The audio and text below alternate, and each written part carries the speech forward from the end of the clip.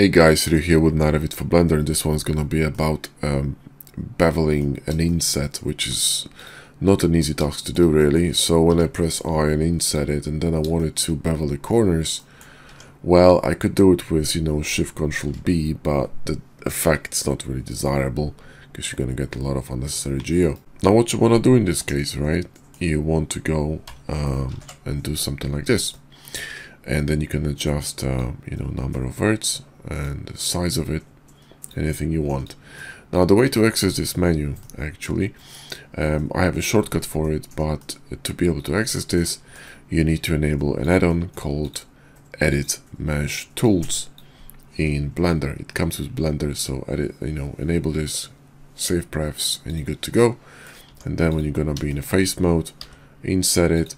You wanna go in the vert mode when you do this because when you right click and go to mesh tools and click on this face inset fillet um, or fillet whatever um, you will um, get this F9 menu. And if you you know finish adjusting it and you know click off that's it you're stuck with it. So if you're not in a vert mode it's simply not gonna work.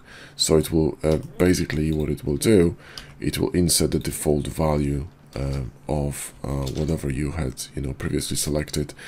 And you can adjust it. The problem is you can't see how many verts you have here. So visually you know you can't see it. And when you switch the mode to to vert mode this menu disappears which i think is retarded but what are you gonna do? And you get it back so f9 doesn't work yeah? You can do the same thing with HardOPS uh, Boxcutter um, i mean with HardOPS and Boxcutter. So you can you know run a cut and shift T to taper it. And if you want to be mathematically precise in terms of area, you can just enable this snap tool here, and uh, snap grid, whatever it's called, and let's make it a bit bigger. Um, and you know, you run it in a corner like this. Uh, it's not very accurate, is it? So one more time. There we go. And press B and Shift D for taper, and and there you go. Well guys, that's it for the video, hope you enjoyed it.